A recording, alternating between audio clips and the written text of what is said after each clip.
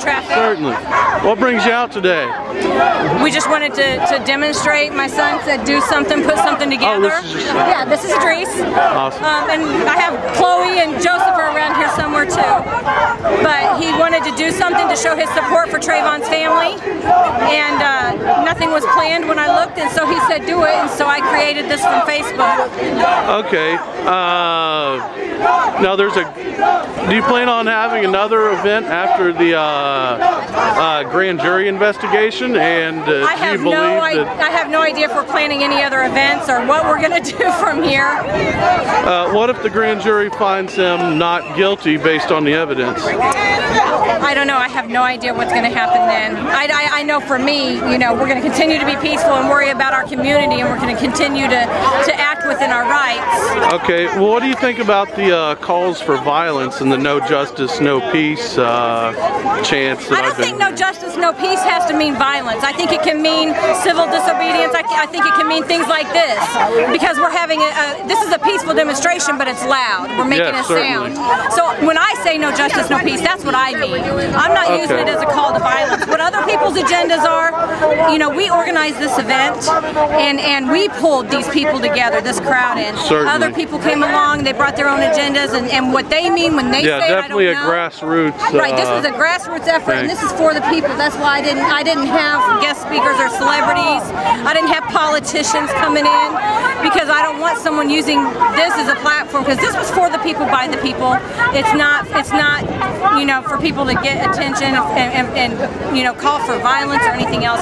I don't want no more violence. That's what I Certainly. Uh, do you think the stand your ground law is a good law? And uh, what are I your think, opinions I think stand your ground laws be good, but I think they need clarification language put in. I think that there needs to be language added to Like what kind of language? language that says once you choose to pursue somebody, you are con- no longer considered in fear of your life, and at that point, you are not allowed to invoke that law as, as a defense for, for killing someone. I will do that. Uh, do you think? Uh, Because I'll tell you, well, let me tell you, I, the reason I say that, if someone came after me, by all means, I I'm going to stand that my on the- ground. I will stand news. my ground. But but my whole thing is, if I'm in fear of someone, I'm not going to go follow them. I'm not going to pursue Okay. them. Uh, well, what if he was keeping an eye on him and He, did, observing and he reporting? did not need to approach him then. He, he was he could have done that from his vehicle. He could have done that from a distance. Certainly. And he could have even called out while he had the police on the phone. He could have called out to the boy and said, "Hey, excuse me, I'm part of Neighborhood Watch," and identified himself. But he didn't do that. He put that 911 person on the call to be his alibi.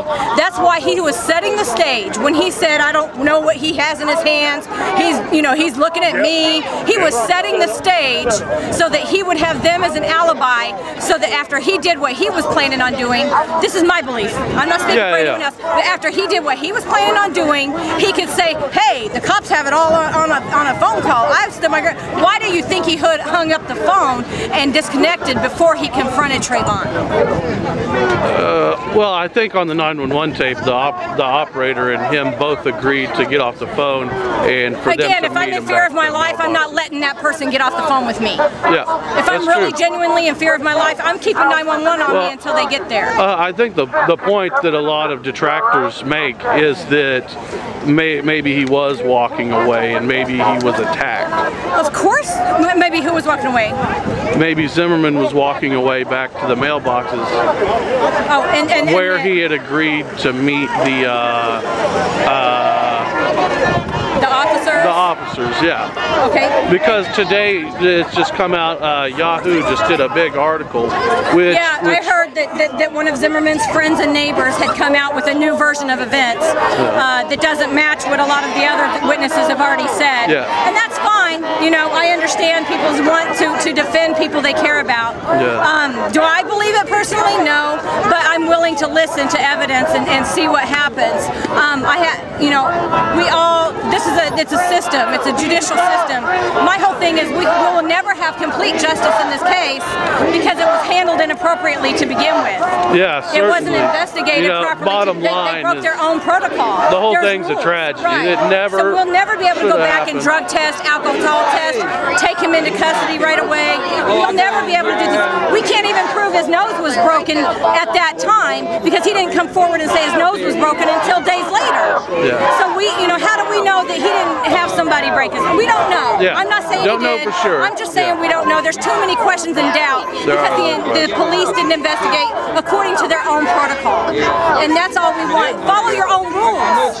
Certainly, I Follow your own agree. rules. They're there for a Okay, reason. So if, if the grand jury, which which the grand jury is expected based on the evidence, according to the lead prosecutor in the case, that the there that there will not be charges filed out of this. That's according to the lead prosecutor. Uh, do, do you believe there should be some sort of discourse afterwards? You know, based on that. I mean, if he's found not guilty, I, I, you know, that's a jury of his peers and Right, stuff. right. I, I really do think there needs to be some kind of discourse. I don't think it needs to be violent, and I don't think people need to take to the streets and start breaking laws themselves. But I think we do need to. I, I don't know the answer.